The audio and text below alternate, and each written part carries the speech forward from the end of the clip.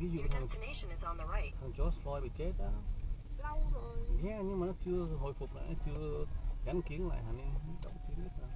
Ờ nhưng mà bên trong nó vẫn hoạt động đúng không? Ừ. ờ. bên trong vẫn hoạt động nhưng mà tụi nó đợi bảo hiểm giải quyết đó anh. Nó đâu có bỏ tiền nó làm đâu. Đúng rồi. Vô đi toilet con. Rồi toilet bài mà đeo khẩu trang vô đi toilet